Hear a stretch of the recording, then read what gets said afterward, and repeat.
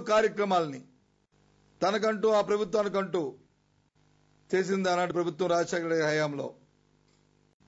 ఉన్న ఆరు సంవత్సరాల్లోనే భారతదేశంలో మేటి ప్రభుత్వంగా ఒక సంక్షేమ రాజ్యంగా ఈ అంశాన్ని తీసుకున్నా సరే ఇది బేస్ ఇది ఇది ఇది పెడితే బాగుంటుందని ఇతర రాష్ట్రాలు మెప్పు పొందేటట్టుగా ఆనాడు కార్యక్రమాలు జరిగాయి. ఇది వైఎస్ఆర్ ప్రోగ్రామ్ అని చెప్పి కొట్టొచ్చేటట్టు కనిపించాయి.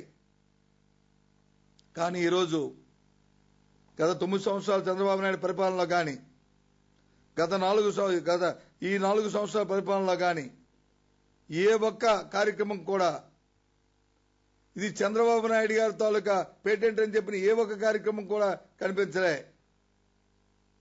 చెప్పుకోవడానికి లేని పరిస్థితి ఇవాళ ఈ పరిపాలనకు ఉంది కొట్టించినట్టు కనిపిస్తుంది.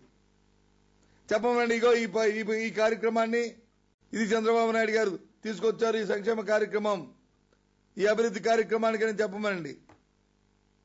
అందుకే ఆ రోజు పెట్టిన ఫీజు రింబర్స్మెంట్ కానీ ఆ రోజు పెట్టిన ఉచిత విద్యుత్ కానీ ఆ రోజు పెట్టిన ఆరోగ్యశ్రీ కానీ